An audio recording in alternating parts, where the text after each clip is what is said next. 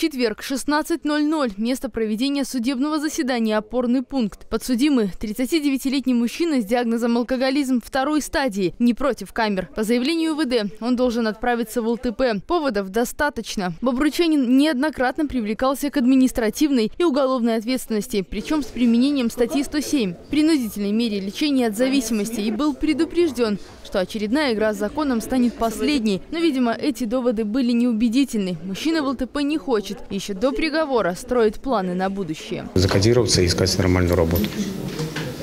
И вернуть жену.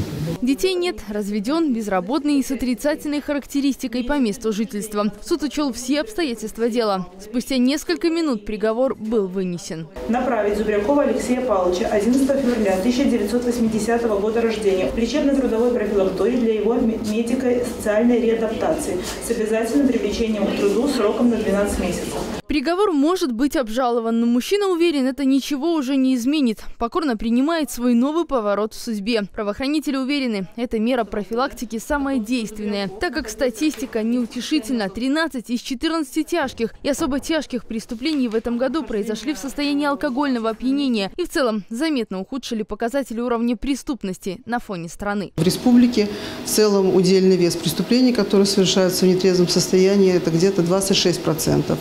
По области несколько больше, 27,2%, но в республике, вот в городе Бобруйске 31,2%. Это данные за 2018 год. В прошлом году суд вынес решение о направлении в лечебно-трудовой профилактории в отношении 242 местных жителей. За 7 месяцев этого года уже 113. Борьба с алкоголизацией населения продолжается. Ангелина Дикун, Максим Галеонко, Бобруйск, 360.